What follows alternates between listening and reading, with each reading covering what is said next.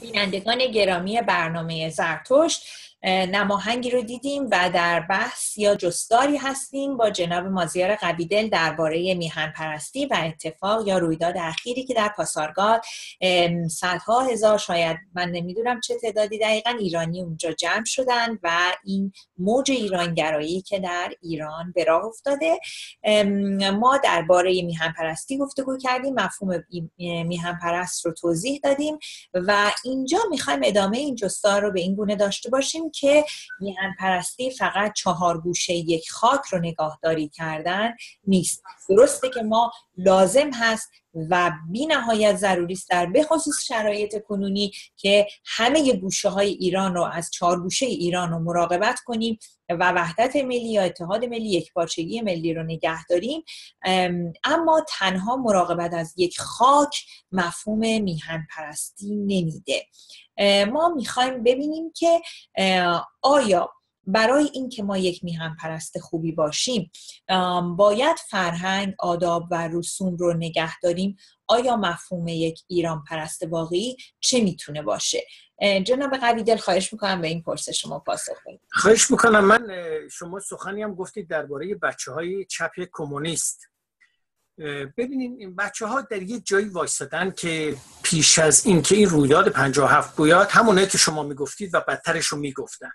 می‌گفتن تخت جمشید با زور ساختن با بیگاری ساختن که امروز سنداش بود و یک شگفتی در کار این دوستان جهان وطنی هست که باز به کار ایران کار دارن. خب چه گوارا جهان وطنی بود؟ رفت توی کشور دیگه. جنگید بسیارم آدم کشت ولی خب کار خوبم کرد و کشته شد و از میان رفت. من می‌خوام ببینم یک این دوستان اگر جهان وطنی چرا هی ایران چسبیدن؟ خب برید جایی که هستید یه جای دیگر رو بچسبید. این همه افریقا. خب ایرانی زبان دیگه ای نمی‌دونی. برو برو افغانستان برو افغانستان کار کن تاجیکستان کار کن. سمرقند و بخارا رو گرفتن نمی‌ذارن دنبالی پارسی زبان خودشون رو بگیرن فرهنگ خودشون یک مورد. دو دوستانی که جهان وطنی هستید و باور به این اندیشه های این چونین دارید چرا همش تو سرزمین های امپریالیستی زندگی می‌کنید؟ پس ببینید باور داشتن به یک چیزی دست کم باید درصدی ازش پیروی بکنن. این فرهنگی که ما ازش میگیم و هنگامی که میگیم آریایی آریایی به چم نژاد است؟ نژاد اون چیز که امروز میگن رئیس نیست یعنی شریف. امروز میگن شریف. یعنی ما از نسل راستگویان هستیم. چرا؟ به ایرانی ها گفتن پارس ها قوم پارس. پارس رو داشتیم قومشو. منتها به یه سری میگن پارسا. هم امروز اگر کسی درست کار باشه بهش میگن پارسا. به اندازه اینها راستگو بودن که هر کی راستگو بود بهش گفتن مانند پارس هاست پارسا بدین گونه افتاد در میان این فرهنگ زمینی راستگویی داره. همونطوری که گفتم فرشگر داره. هم فرش همون فرش انگلیسی شده امروز.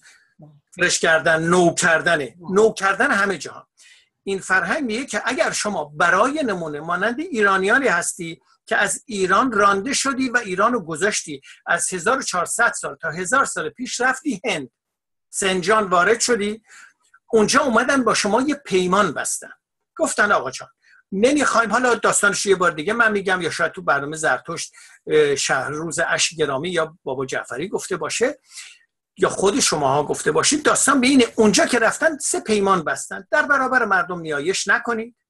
تبلیغ آینتون رو نکنید و یه پیمان دیگه هم بستن که آمیزش نکنید. خب اینها بر پیمانشون موندن و اون کشور رو نو کردن. پارسیان هند زوب و آهن هند و صنایع سنگین هند رو ایرانیان درست کردن. ایر ایندیا رو ایرانیان درست کردن. یکی از نخستین و بهترین خلبانانشون پارسال درگذشت. دخترش در کاناداست. خانوادهش در کاناداست. یه پارسی ایرانی. و هم اکنون آقای تاتا که از بزرگانشونه اومده بود ولوو و ساب سوئد رو بخره. نرسید می‌خواست چیز روز رویس رو بخره. و امروز ماشین سازی اونجا و بسیاری بیچارگاه رو دست میدن. پس نو کردن جهان نمونه داره. شما ایرانی ها رو نگاه کنید. پارس پرودیوس تو امریکا اومده در اونجا نو کردن جهان داره. پسته رو برده اونجا. نمیگه تنها مال منه. دریچی جهان رو به رو خودش باز می‌کنه. اینک بیاین به ایدئولوژی دیگری نگاه کنیم امروز یه فیلم نشون دادن. گویا در آلمان بود یا جای دیگه بود. من دورانه دیدم. یک سری که یک اندیشه هایی داشتن اومده بودن ریخته بودن ماشینا رو میشکستن و می‌گفتن الله اکبر. همه ماشینا رو شکسته بودن. در کشوری که بهشون از درشون آورده داشته میمرده آوردنش بیرون و بهشون جا و زندگی داره. اندیشه های ایرانی نو کردن جهان به هر گونه است. یعنی شما نمی‌بینید که شاید یه ایرانی در جای دیگه